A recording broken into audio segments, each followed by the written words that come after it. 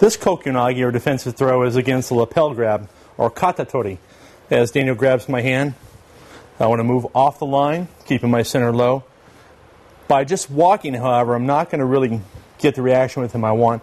I need to trap him slightly. In order to do that, I'm going to gently move up here and cause a, put a little bit of pressure on the wrist. Not a bunch. I'm trying to be a little bit sneaky here. So I'm going to step back. And as you can see here, I start to tilt Daniel. I'm starting to lead him out of his center. His head's forward. His hips are tilted forward. Now, I want to continue to follow that motion, use the inertia, and sweep this arm down from the shoulder all the way down to the ground. Let's do that from motion, or do a little more fluidly so you can see how it works. Daniel's going to come in, I'll trap, I'll sweep the arm and down we go. Let's do it from motion.